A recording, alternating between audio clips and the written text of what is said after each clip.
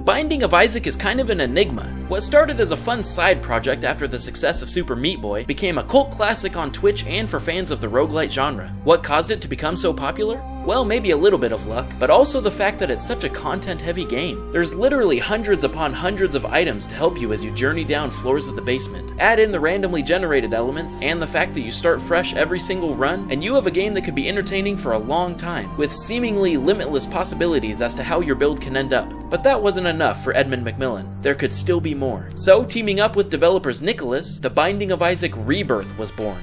Just playing once can show you how different this remake is. But is it better? After playing extensively on both versions of the game, I thought it'd be neat to break it down and compare the two. I'm not gonna go too in depth with the story, just know that your mom is trying to kill you, so you escape down into the basement and descend further and further, discovering all kinds of enemies and items along the way. There's lots of nods to other video games, as well as spiritual undertones throughout. It's much deeper than that, but that's really all you need to know to get started.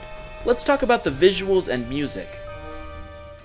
This is the most obvious difference between the two games, with Rebirth being completely revamped into a pixel art style. While this is a big change, it doesn't make any of the old enemies or bosses look different, you can still tell exactly who they are. For those that aren't a fan of the pixel art, you can turn off the filter, though it looks a little odd to me. Everything kinda looks like a gummy bear or something. The game got a lot of quality of life improvements as well. The original was made in Flash, which gave it certain limitations, such as no controller support and low frame rate. Rebirth runs at a smooth 60 FPS, has improved dimensions at 60 16 by 9 and supports many different controllers if you want to use them. A new engine was built from the ground up so the game runs better and can load more things on screen at a time without slowing down. The music is definitely good, without a doubt, but it's more eerie and creepy, unlike the predecessor where the tunes were more melodic and beat centered. The new music seems to fit the atmosphere of the game really well, and the boss music gets pretty intense. But personally, I miss the old jams. Sometimes it just made you want to dance. New content.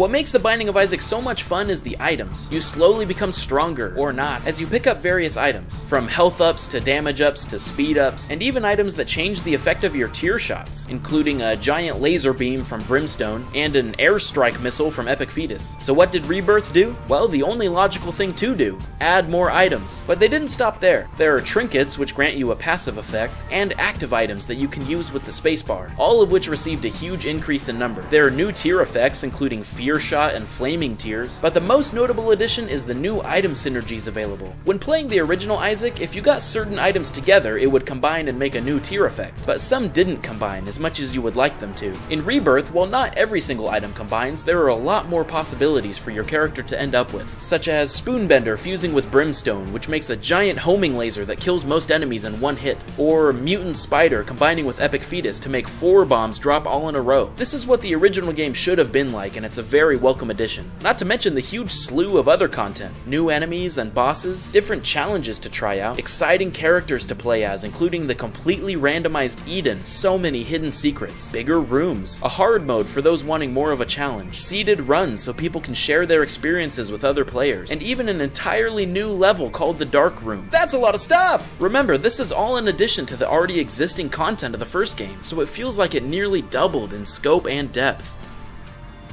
gameplay.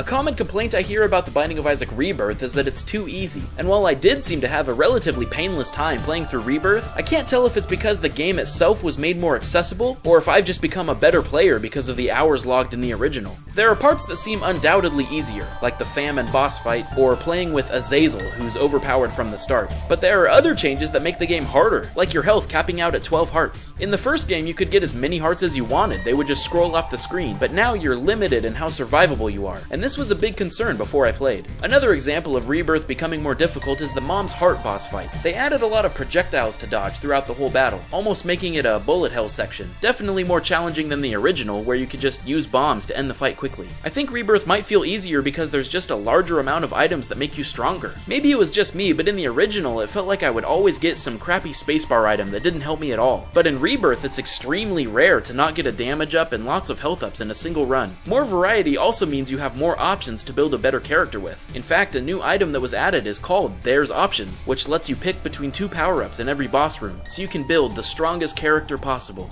There's a mechanic where if you don't take any red heart damage on a floor, you're offered a deal with the devil, where you can trade some of your hearts for a good item. It feels like a greater emphasis is placed on these deals in Rebirth than in the first game. Most of the items are really good and make the game much easier if you take them. However, you have to play well enough to not take damage to even be offered these deals. So if you're a new player, you're sort of out of luck and will have a harder time in the beginning. There's almost no benefit to keep red heart containers other than to trade for these devil deals, so the game sort of leans toward having only soul or black hearts, your secondary health that you can't replenish. Which isn't bad, it's just unfortunate because it leads to less varied gameplay. The general strategy boils down to getting as many deals with the devil as you can and stocking up on solar or black hearts. You can also become Guppy, Isaac's pet cat, by collecting three or more Guppy items. This basically gives you an automatic win because for every tear that hits an enemy, a fly will spawn to do additional damage. In the original game, there were only four Guppy items, but in Rebirth there are six, which means it's much easier to become overpowered and win easily. So is Rebirth easier than the original?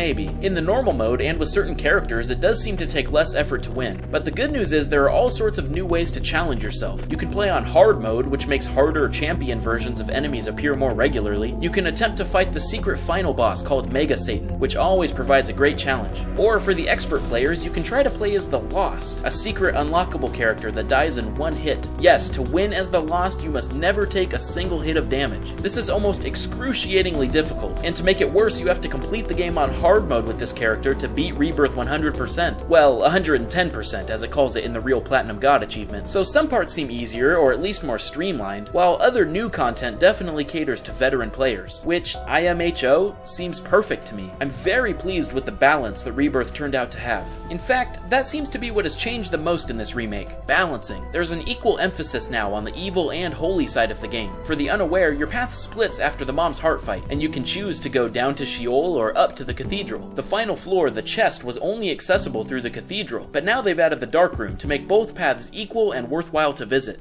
The original had soul hearts representing the holy side, but now they've added black evil hearts which damage enemies when they're depleted. You could receive a deal with the angel if you refuse to deal with the devil in the original, but now there's more reason to do this, because you can get pieces of a key to fight the coveted Mega Satan boss. Even in the small details, Rebirth seems more evened out. There was an item in the original that gave you double trinket room, but now they've added items to give you double card or pill room. Don't want to try to become Guppy every single run? Well now you can become Lord of the Flies too, by collecting three fly related items. Guppy's Paw traded one red heart for three soul hearts, but the converter now lets you trade two soul hearts for one red heart container. But I don't know why you would ever do that. Really, when it comes down to it, Rebirth improved the Binding of Isaac in almost every way. They even added boss rush when you beat Mom in under 20 minutes, which appeals to those seeking a challenge as well as speedrunners. It's like the Binding of Isaac started out as an idea and the blueprint was produced, but now Rebirth has made its vision fully realized. There's really nothing else you could even add to the game at this point.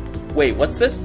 Another update? What? Hey, thanks for watching. I'm Snoman and I hope you enjoyed. Tell me your thoughts of Rebirth in the comments below. Do you like it? Do you like the original better? Feel free to subscribe too if you haven't yet. Check out these other videos before you go and I'll see you guys around. Bye!